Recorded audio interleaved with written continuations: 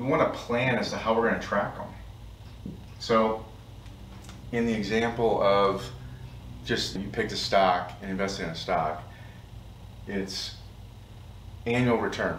Or it could be return by week, return by month, but let's just say that the metric is actually the return. So let's say it's price appreciation, if you want to define return.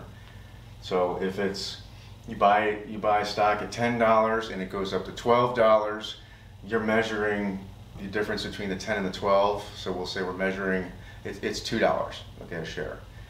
That's a twenty percent return based on our definitions that we did up here. Now we got to plan to track it.